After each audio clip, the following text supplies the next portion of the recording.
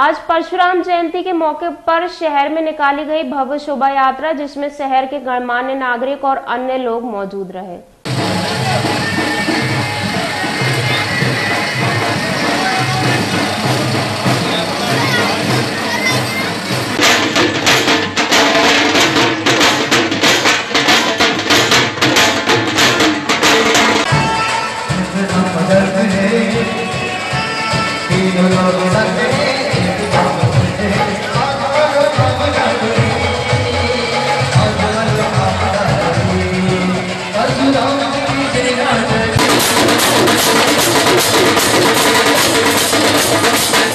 Thank you.